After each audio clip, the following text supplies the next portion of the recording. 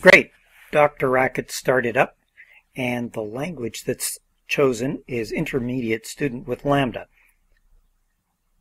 We're going to require picturing programs. Read that in by typing Control T and give yourself lots of real estate for interactions with Control D. Let's get at least one image to use. Now, I can express that image as I've done before, but I can also combine it with itself or other images.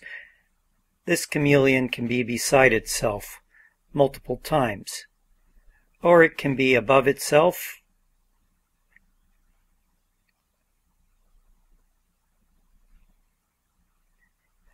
I can combine numbers and strings to give instructions to build a circle of a certain size. So here is a circle of radius 160. Now I can overlay the chameleon with that circle. So I'll copy the circle. Oops, my buffer seems to be infested with chameleons.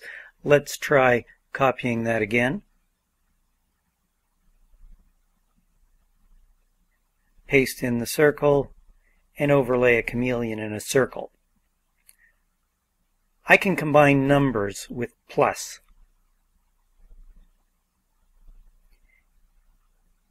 It seems a little weird to combine two numbers with plus ahead of them, but when there's more than two, this ends up being convenient. Similarly, I can combine numbers with multiplication. If I want to combine more than two of them, this prefix multiplication is convenient once again. Similarly, I can divide 1 half by 2 thirds, divide that by 3 quarters, divide that by 4 fifths, and divide that by 5 sixths. That's what I get. I can subtract 2 thirds from 1 half and then subtract 3 quarters from that and so on. Here's what I get. Sometimes I want to make sure that division gives me back integers. So here's the number of times 9 goes into 15. I use quotient for that. Here's how many times 9 goes into 24. Of course, goes into is not sufficient unless we know the remainder. 9 goes into 24 twice with remainder 6. I can combine strings with string append.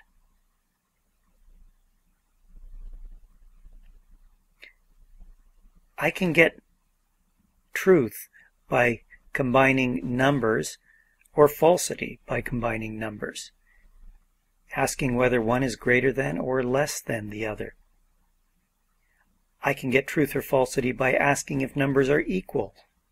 Notice the question mark.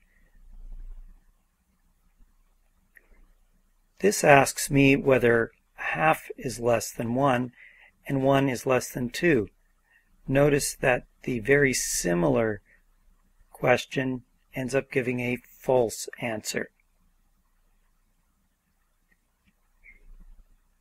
I can ask whether half is less than 1 or half is equal to 1.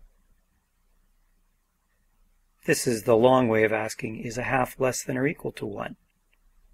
How about asking whether a half is greater than 1 or a half is equal to 1? Well, that's just false. How about asking whether half is less than 1 and a half is equal to 1? False again.